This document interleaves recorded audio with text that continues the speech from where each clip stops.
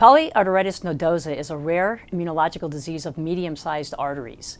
It affects adults more commonly than children and males more commonly than females. It affects the walls of the arteries and can lead to the formation of aneurysms, bleeding, and thrombosis.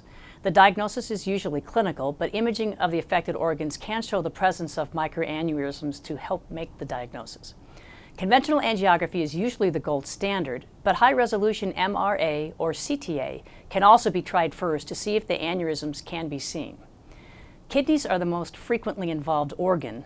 In this case, the young man has multiple microaneurysms in both kidneys. Because the MRA scan was positive, he did not have to have a, an, an angiogram to make the diagnosis. The disease is usually fatal if it's left untreated, and patients generally die from progressive kidney failure or GI bleeding.